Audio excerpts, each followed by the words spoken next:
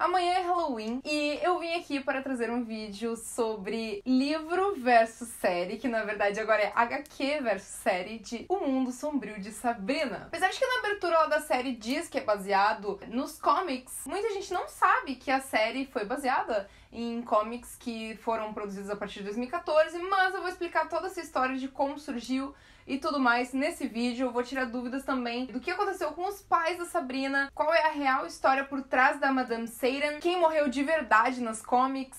E, enfim, não se esqueça de se inscrever no canal, porque eu sei que muita gente que tá assistindo não é inscrito aqui. E já comenta aí embaixo qual seria o seu familiar se você tivesse um, se você fosse um bruxo, uma bruxa. Caso você tenha alguma dúvida que eu não responda nesse vídeo, porque eu vou falar muitas coisas que serão muitas respostas, que vai clarear muito a mente de vocês. Caso eu não responda alguma pergunta, você pode perguntar aí embaixo que eu vou responder, ou talvez eu responda em algum outro vídeo, não sei, vamos ver. Não esquece de deixar seu like aí embaixo também. Esse vídeo vai ter spoilers a partir de certo ponto, eu vou avisar quando os spoilers começarem, então não se preocupe, você pode assistir até vir o aviso, ok? Bom, os primeiros quadrinhos da Sabrina surgiram lá nos anos 60, que ela fazia parte dos quadrinhos do Archie Comics, que ela era apenas uma personagem que fez uma participação, ela fez muito sucesso, então ela ganhou as próprias comics. Os quadrinhos dela eram dos anos 60, então eram mesmo naquele estilo bem retrô assim, e esses art comics que uh, inspiraram Riverdale. O Roberto Aguirre Sacasa, ele é o criador dos quadrinhos dos anos recentes, que teve o remake dos quadrinhos, e ele também já trabalhou pra Marvel e tudo mais. Ele também é o mesmo criador da série O Mundo Sombrio de Sabrina, que nós vamos comparar neste vídeo. Ah, a versão antiga dos quadrinhos, lá dos anos 60, tem muito mais a ver com a série dos anos 90. Até porque, quando a série dos anos 90 surgiu, esses quadrinhos que deram origem a essa série atual não existiam. Essa série de quadrinhos atuais, que começou a ser publicada em 2014, continua sendo publicada hoje em dia, só que ela não tem exatamente uma data certa, uma periodicidade de publicação. Então, assim, a última edição que foi publicada foi a oitava. E até agora a gente não teve a nona, mas é, é claro que vai ter a nona, tá escrito no final da oitava, que vai continuar, já tem o nome, a capa, só que não sabe quando que ela vai ser publicada. Aqui no Brasil ainda não tem tradução, porém o selo Geektopia da Novo Século vai publicar a tradução. Eu entrei em contato com eles, mas eles não me responderam para me dizer quando que vai ser. Então eles estão perdendo uma oportunidade. E é isso aí. Ah, e no final de cada revista dessa Sabrina atual tem uma história da Sabrina antiga. Então, quem não teve a vivência da Sabrina antiga é legal porque pode conhecer um pouco mais dela. Eu achei os quadrinhos muito legais. Eu achei o traçado muito bonito, assim, o estilo do desenho. É todo ele meio em tons de laranja, assim. Só que você não tem muita profundidade dos personagens. É bem superficial. O que você sabe mais é da Sabrina mesmo e você sabe bastante da história dos pais dela, mas isso eu vou falar um pouco mais pra frente quando eu falar sobre spoilers. Nos quadrinhos você fica meio que com pena da Sabrina porque você sente que ela é meio que sozinha no mundo. As tias dela são bem distantes, elas são bem chatas. Só o Ambrose que dá bola para ela, assim, que é o primo dela. Ele realmente se importa com ela e tudo mais. E tem o Harvey, né, que é o namorado dela, mas ela não tem amigos a Rosalind, ela existe nos quadrinhos, mas ela é meio malvadinha, assim, meio vilã. Mas assim, ela não faz nada diretamente pra Sabrina, mas ela só é aquela menina popular meio invejosinha. Os quadrinhos se passam nos anos 60 e tem as datas dos acontecimentos. Inclusive, tem várias referências aos anos 60, ela tem é, um pôster dos Beatles no quarto dela. Ela tá lendo um livro da Shirley Jackson, que é a autora da Assombração da Casa da Colina, que é o livro que deu origem à Maldição da Residência Rio, mas enfim, eu achei isso muito legal. E o Harvey, ele mora em uma rua chamada Elm Street. A série, inicialmente, ela ia ser feita pra CW, assim como Riverdale, só que ela acabou sendo produzida pela Netflix e ficou na Netflix mesmo, e foi feita em duas partes. O que a gente tem disponível na plataforma é a primeira parte, que são 10 episódios. A segunda parte já foi produzida, se não me engano, foi gravada em paralelo mesmo com a primeira parte. E o final fica super aberto pra ter a continuação mesmo. E ia ser pra CW como Riverdale, porque, como eu já disse, é do mesmo criador. Eu tava falando sobre o ano que se passa os quadrinhos, na série não tem linha temporal certa. Porque assim, muita gente na verdade acha que ela se passa nos anos 80. Só que o que caracterizaria os anos 80 seria mais assim, os objetos da casa, TV de tubo, as roupas que eles usam, os carros talvez. O fato deles falarem de The Fly do Cronenberg, que é de 86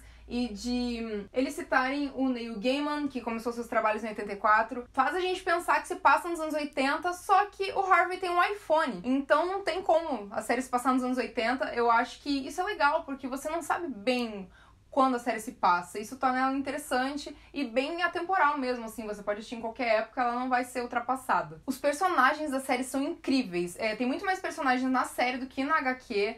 E é muito legal porque todos eles têm uma trajetória, eles têm uma história legal, mesmo que eles não sejam tão relevantes assim para o contexto geral da história, todos eles são bem, bem interessantes, bem legais. Uma coisa que eu achei incrível na série é que todo episódio é utilizado uma aberração cromática em várias cenas. Aberração cromática, basicamente, muito resumidamente, é a dispersão que a curvatura da lente causa na imagem. Então, assim, a imagem mais perto da borda, ela fica com um efeito de cores do arco-íris. É como se fosse o prisma quando bate a luz branca nele e ele decompõe a luz que fica um arco-íris. Então, em muitas imagens da série, no fundo ou em algumas cenas especiais na borda, fica uma cena meio com cores distorcidas. Isso dá uma impressão de magia, de sonho, então torna a série assim diferente. Eu nunca tinha visto uma série que fizesse um uso tão grande dessa coisa da aberração cromática e eu achei que eles usaram muito a favor deles e ficou incrível. A série é bem sombria, ela não tem nada a ver com a série antiga. Ela tem uma trama bem interessante, deixa vários pontos abertos para a segunda parte que vai vir. Uma coisa que eu queria comentar é que a química do casal é incrível do Harvey e da Sabrina, né? É incrível, eles são uns amores, os atores são muito bons, eu gostei muito deles. Tem uma cena deles na floresta que é muito delicada, muito bonita, sério. Atores, na verdade, todos os atores da série são muito bons, mas os protagonistas estão de parabéns. Bom, se você se importa com spoilers, eu sugiro que você pare o vídeo por aqui, vá assistir a série e depois volte aqui, porque agora eu vou começar. Tem um bicho aqui? Agora eu vou começar a comparar a série com as HQs, então eu vou falar várias coisas que aconteceram na série e explicar vários acontecimentos, falar bastante sobre os pais dela, o que na verdade aconteceu, sobre a professora Wardwell, sobre as tias, sobre o primo Ambrose, sobre Riverdale, o que, que tem de conexão e enfim. Porque na série a gente sabe que Riverdale só é mencionado, né? Mas nas comics não é isso que acontece. A HQ começa nos contando da infância da Sabrina. Então a gente fica sabendo o que, que real aconteceu com os pais dela.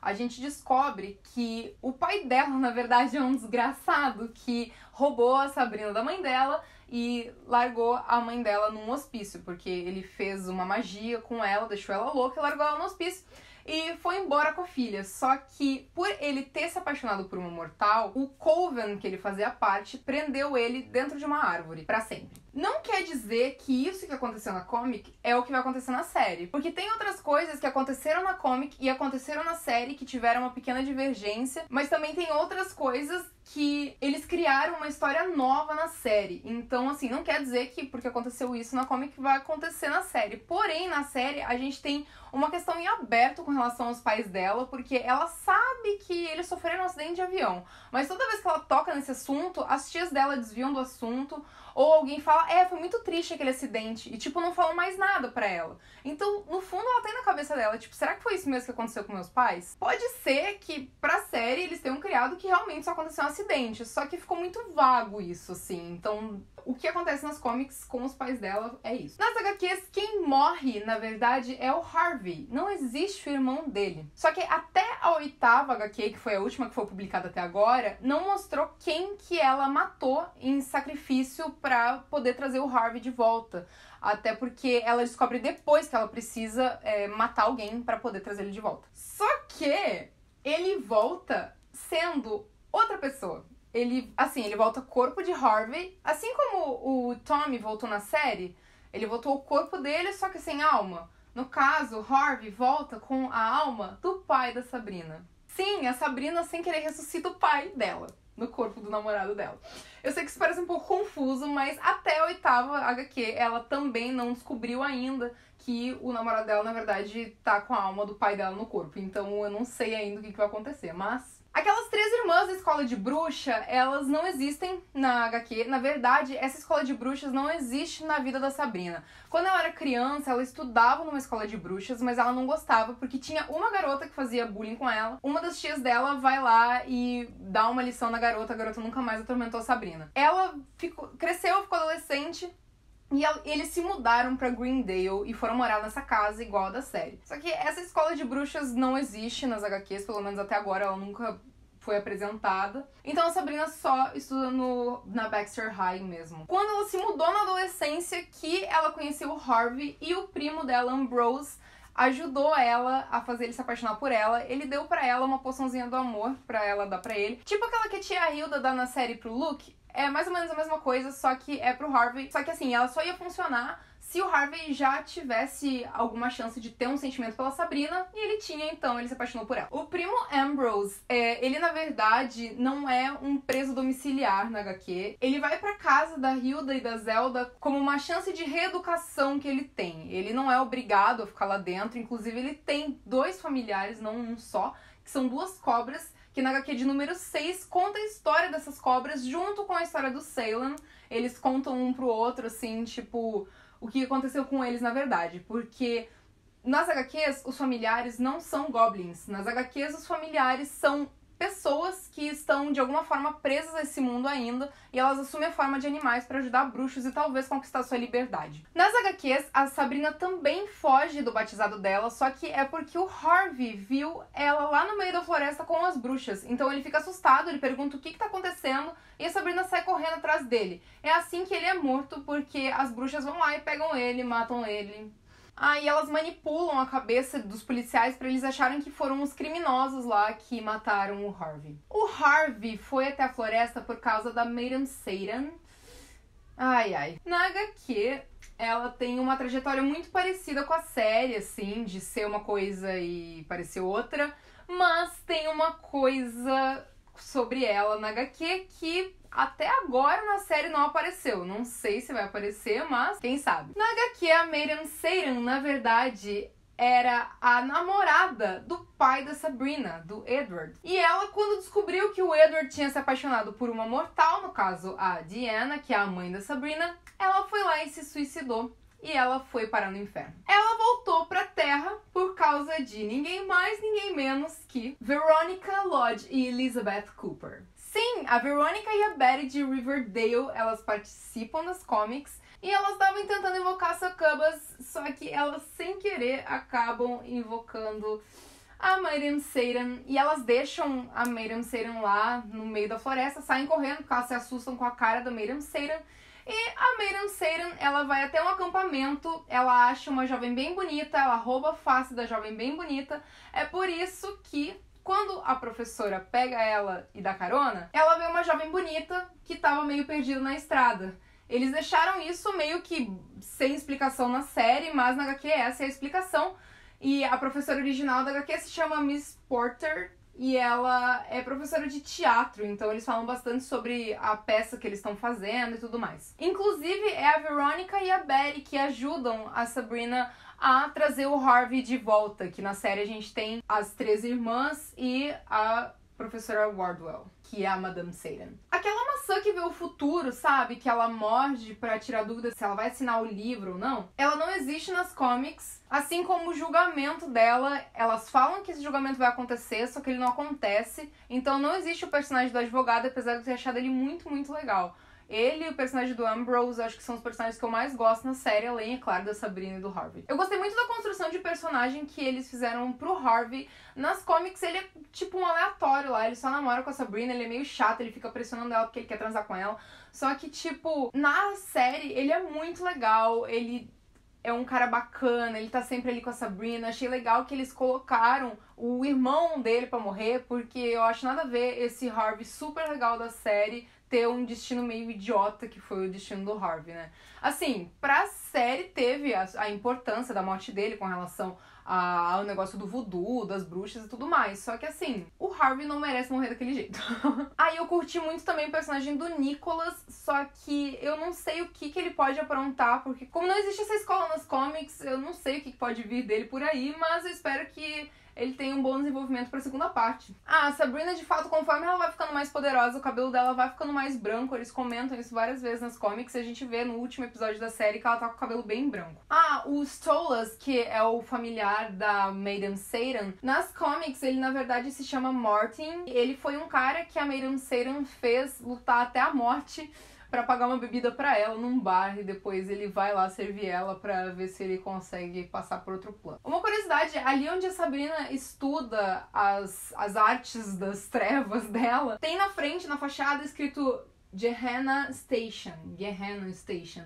Enfim, uh, essa palavra significa inferno. Ela é muito mencionada nas comics porque a Maiden Satan fala que ela estava em Gehenna antes dela voltar pra Terra. E a batalha final que aparece na série contra as bruxas, as 13 bruxas, na verdade nas comics até agora essa batalha foi da Sabrina com as tias dela, porque elas ficam muito revoltadas que elas descobrem que a Sabrina praticou necromancia, então elas vão lá e começam a lutar com a Sabrina e tal, e termina meio assim no ar. Eu tive uma visão muito diferente da série de alguns pontos, porque eu li as comics, então assim, algumas coisas eu meio que sabia que ia acontecer. Tipo, eu sabia que a professora Wardwell ia ser sacana com a Sabrina, porque eu sabia que isso acontecia nas comics, e eu tava esperando, e toda vez que ela entrava no negócio, assim, eu sei que deixa subentendido que ela é má no começo, quando ela mata a professora original, né? Mas só que na trajetória que eles dão pra ela na série, dá a entender que talvez ela vá ficando boazinha em alguns momentos, que ela fica meio comovida e tal.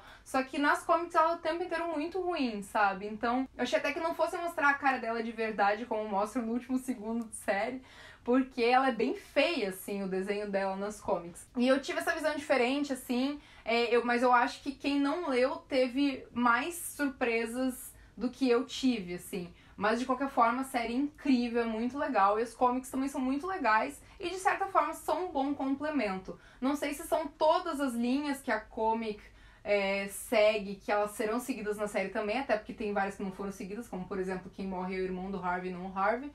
Mas, por exemplo, a história dos pais ou da Miriam Satan podem ser ainda introduzidas na série, então vamos acompanhar. Se você tem alguma dúvida que eu não respondi aqui, se tem algo que para você ficou em aberto e que talvez eu tenha esquecido de mencionar aqui, comenta aí embaixo, eu vou adorar responder. E é isso aí, um beijo para vocês e até a próxima.